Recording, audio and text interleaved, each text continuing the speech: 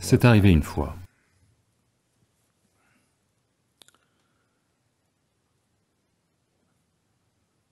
Gautama, le Bouddha, vous avez entendu parler? Hmm? Tout le monde a entendu parler de Gautama? Donc, Bouddha n'est pas son nom. Son nom est Gautama Siddhartha.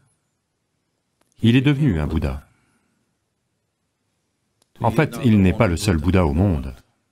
Il y en a eu des milliers, il y en a encore. Donc, Gautama était assis au milieu d'une grande assemblée un matin, un matin de bonheur, plutôt que ça, ok? Un homme arrive et se tient là, debout dans l'ombre. Cet homme est un grand dévot. C'est un dévot de Rama. Vous avez entendu parler de Rama? Hmm? Pas Rami, hein, Rama. Rama est l'une des divinités les plus populaires en Inde. Si vous ne le savez pas déjà, en Inde, nous avons 36 millions de dieux et de déesses. C'est un pays très riche.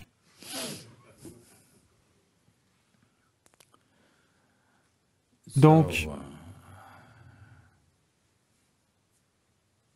c'est un grand dévot de Rama. Les dévots en Inde, pas maintenant et pas tout le monde, mais ceux qui prennent ça au sérieux, ils ne vont prononcer aucun mot autre que le nom du Dieu auquel ils croient. Donc s'ils veulent que vous approchiez, ils vont dire Ram Ram. S'ils veulent que vous partiez, Ram Ram. S'ils veulent quelque chose, Ram Ram. Aucun autre mot que Ram. Les vêtements sont tous imprimés Ram Ram, ils prononcent seulement Ram Ram, ils vivent Ram Ram. Ils ont dévoué leur vie entière à Dieu. Vous êtes malin, vous n'êtes pas comme ça. Vous avez gardé Dieu comme une assurance, juste au cas où quelque chose se passe mal. J'ai aussi payé ma prime. Tout ce que vous avez besoin de faire, vous le faites vous-même. Vous avez gardé Dieu comme une assurance. Très malin. Mais cet homme a investi sa vie entière en Dieu. Total. Les années passent. Un petit doute est né. Y a-t-il des personnes ici qui ne croient pas en Dieu? Personne? Pas d'original, non? Un seul? Ok, comment vous appelez-vous? John. Seulement John? Personne d'autre?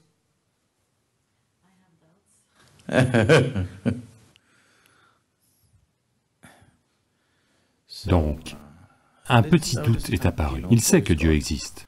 Juste un petit doute, supposons que Dieu n'existe pas. Je gâche ma vie entière à faire ram ram ram. Voyez, ce doute naîtra en vous seulement si vous investissez votre vie entière. Si vous investissez juste dix minutes par semaine, ce doute ne vous viendra pas, tout va bien, c'est quoi le problème? Vous savez? Si vous investissez votre vie complètement en Dieu, alors en trois jours, le doute va naître. Est-ce que je gâche ma vie à juste faire ça Et il y a d'autres gens qui ne croient pas. Voyez, regardez ce John. Il ne croit pas. Pour lui aussi, le soleil se lève le matin. Pour lui aussi, les fleurs fleurissent. Pour lui aussi, la vie a lieu. On dirait qu'il s'amuse plus que moi. Donc un petit doute, il sait que Dieu existe, juste un petit doute. Maintenant, il y a un être éveillé ici, il veut vérifier. Mais après avoir été un dévot bien connu pendant longtemps, parce qu'il n'est pas juste allé au temple, il a construit de nombreux temples. À ce stade de sa vie, comment demander si Dieu existe ou pas maintenant? Alors il arrive tôt le matin, se tient debout là, dans l'ombre, et pose cette question inévitable. Est-ce que Dieu existe? Gautama regarde l'homme et dit de façon claire et catégorique, non. Là, cette grande assemblée de disciples, ça a toujours été une lutte dans leur tête.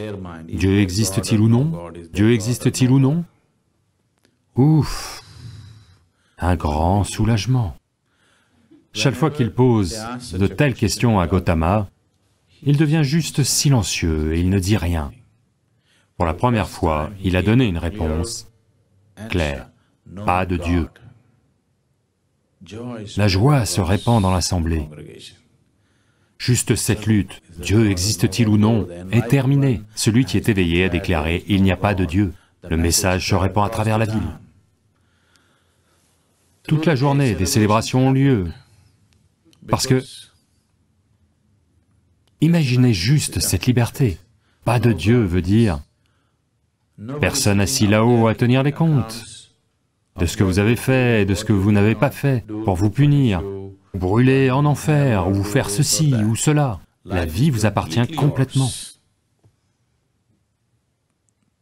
Donc toute la journée, des célébrations ont lieu. Tout le monde éprouve une joie immense.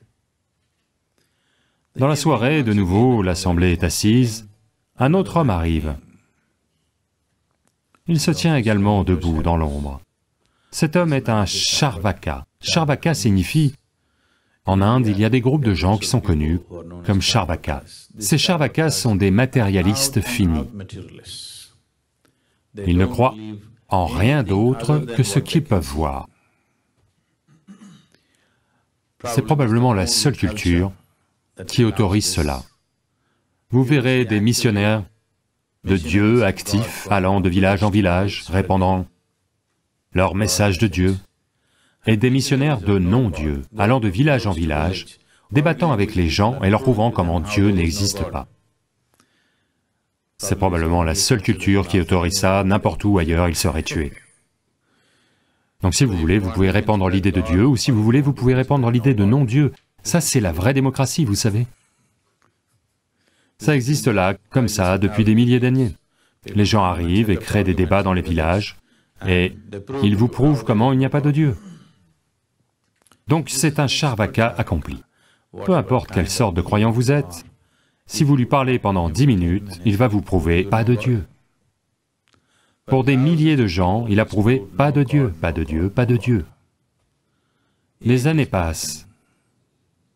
Un petit doute est survenu. Supposons que Dieu existe. Quand j'irai là-haut, va-t-il m'abandonner? Et tous ces croyants disent qu'il y a toutes sortes d'outils de torture là-haut. Donc parce que j'ai passé mon temps à prouver à tout le monde qu'il n'existe pas, il me torturera peut-être beaucoup plus. Il sait que Dieu n'existe pas, il a prouvé à des millions de gens que Dieu n'existe pas. Juste un petit doute. Maintenant, il y a un être éveillé ici. Il veut vérifier. Donc il arrive là, le soir, et il pose la même question inévitable. Dieu existe-t-il?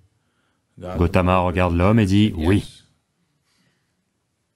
Une fois de plus, un tumulte démarre. Le matin, il a dit, pas de Dieu, ils étaient tous vraiment heureux. Le soir, il dit, Dieu existe. Donc, à quel jeu est-ce que Gautama essaye de jouer?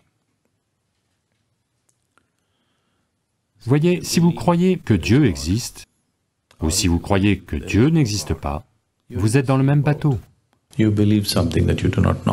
Vous croyez quelque chose que vous ne savez pas. Je crois ceci, vous croyez cela, ça ne fait aucune différence. Vous pouvez croire tout ce que vous voulez. Oui Tout le monde peut croire tout ce qu'il veut. Ça peut n'avoir rien à voir avec la réalité en tant que telle.